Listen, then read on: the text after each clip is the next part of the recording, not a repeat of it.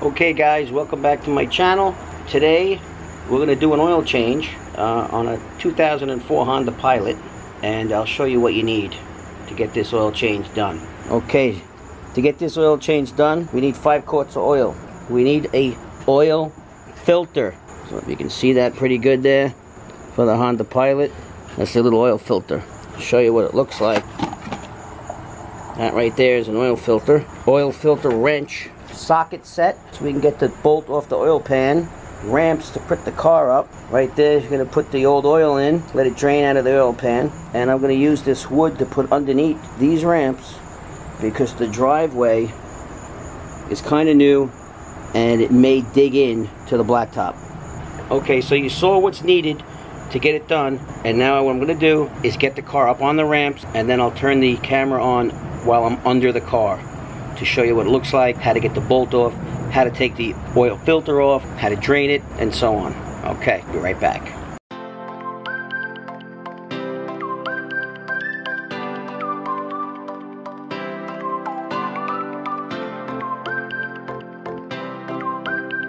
Okay, we got her up on the ramps, and now I get my tools over there, and I'll bring you under.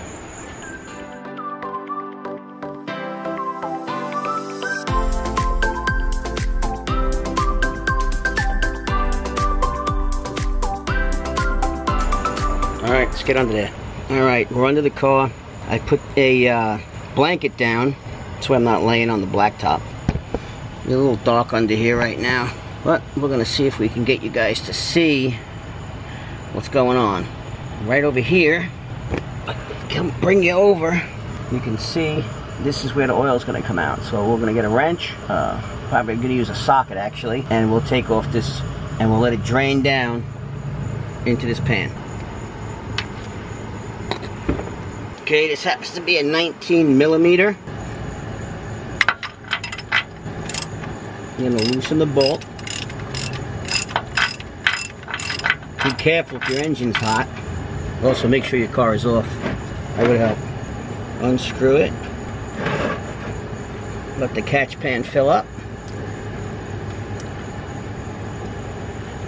If you, if you like to be clean, this ain't for you. See, a little oily. Draining it down now, and then we'll pull a filter. Still draining. You hear it. That's the old oil. Now once you've drained it enough, you can put the oil plug back in. Just screw it in loose for now, so nothing drips on you while you take the filter out. Wipe it so it don't drip on me. You take your filter wrench, put it on your socket. See that? And I'll show you where the filter is. You can see that white filter right there? We're to loosen that now, take it down. I'm to move the camera because I don't want any oil on it. Make sure you move your catch pan because you're to lose some oil.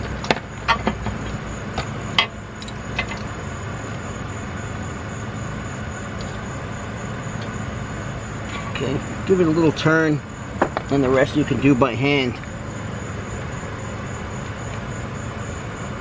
Gonna leak. Get some old oil out of it. Bloody oil out of the filter. Put that filter on the side. Let that drain for a couple minutes and we'll check the plug one more time. Okay, get some more oil out. After you drain it enough, put the bolt back in the oil pan. Tighten it back down wipe the old oil off of everything. Tends to get on the cross member on this vehicle. Check it, don't over tighten it. Just snug it up. A lot of oil pans are aluminum and you don't want to strip it. And this car, kind of a little stripped already from the previous owner. And you don't want to have to buy a new oil pan, so be careful. Okay, so now we're going to uh, take care of the filter. This is the filter that's going back. Same size, just a different color. And what I usually do is I pour oil in it and I prime it. It's called priming. Uh, that way when you start the motor, it gets oil right away. If you don't do that, it takes a couple of seconds for the oil to get through the filter and you could damage your motor uh, by not priming the filter. That's why I like to do it myself. I don't trust the gas stations. Not to say that they all do it wrong, but I just feel safer doing it myself. So here we go. Let it soak into the filter and add a little more. once you have enough in there, take your finger, wipe it around this rubber gasket. That way it doesn't bind up when you put it on. Helps it go on smooth. Okay. Back under the car, and we're gonna screw the filter up there. And usually what I'll do is tighten it on by hand as tight as I can get it. Then I'll go a quarter turn with the wrench because you don't want it too tight. It's not good to be too tight. You'll never get it off next time you change your oil. Okay. And I'll just wipe everything down. And then we'll go up top, put oil back in it. Nice fresh oil. Throw away the old filter. I usually put it back in the original box and throw it away. Now up here, on top of the engine, you'll see right here, that's where you put the oil in. So I'm gonna take this off and go get a funnel. Be right back. Okay, so you put your funnel right there, and we're gonna pour the oil in. This car takes five quarts, so got a five quart container.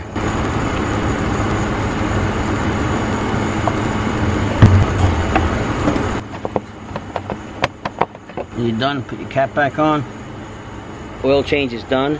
And what I'll do now is I'll take this old oil and I'll pour it into the original new container so I can go and recycle it at the local gas station. Here we go.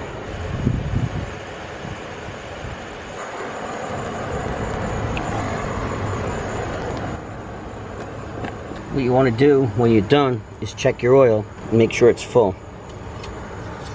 Let's see if you can see that. But it should be between the two dots on the dipstick. Kind of hard to see right now. Let me see. She's good. Put it back. Okay, so now we'll do a little cleanup and uh, get her off the ramps. And that's it. Doesn't really take uh, too much to change your oil, as long as you got the right tools.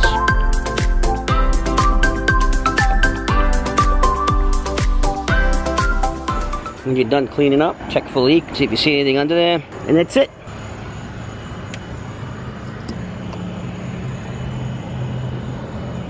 Looks good to me. Another job well done. Well, that's it for today. Thank you for watching. Hope you learned a little something. I know it was an easy one. Well, for me anyway. Uh, I'm not sure if you go get your oil changed or you do it yourself. Either way, you should do it every 3,000 miles. Some new cars, 5,000 miles. Okay, guys, that's it for today's project. That was an oil change on a 2004 Honda Pilot. Pretty much the same for any car. You know, as long as you got the ramps, some tools, get your oil, your filter, you can do it yourself. Be that DIY guy. Alright guys, I was thinking, maybe at the end of every video, we do a little something called, maybe a little segment called, What's in Your Garage? Maybe a tool, maybe something odd. One item every time I make a video. You know, maybe we can compare what we got. Alright, here we go. Alright guys, so for today's video on What's in Your Garage, is this rack I made to hold all my clamps and pipe wrenches.